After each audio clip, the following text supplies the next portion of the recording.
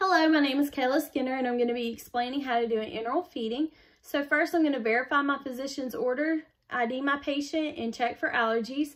I can ID my patient by asking them to state their name and date of birth while looking at their wristband or my electronic health record or paper record. Next, I would wash my hands and put on clean gloves. And I'm going to prepare their enteral feeding by shaking a can of formula really, really well. And I'm going to pour it into a designated feeding bag and then I would connect my tubing and prime it. Next, I would put my patient in high Fowler's position and I'm going to verify tube placement by checking the pH and I'm going to check for residual amount. If my residual amount is less than 250 milliliters of uh, residual, then I would replace the contents back. If it is greater than 500 milliliters, or if I checked it twice an hour apart and it was greater than 250 milliliters, I would stop the feedings. So now I'm going to flush my PEG tube or NG tube with 30 milliliters of water. And I'm going to attach my feeding tube to the PEG tube or NG tube. And I'm going to start the feeding per doctor's orders.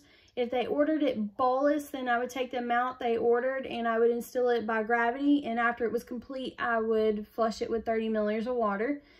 Uh, for continuous feedings, it's going to be flushed every four hours with 30 milliliters of water. If it's uh, intermittent feedings, it's going to be flushed with 30 milliliters of water before and after the feedings. For my administration set and my tubing, it's going to be replaced every 24 hours. For uh, residuals, I'm going to check those uh, every four to six hours or per facility protocol. Um, for my abdominal site, I'm going to actually assess that and clean it daily. Um, also, if it's NG, I would assess that and clean it daily too.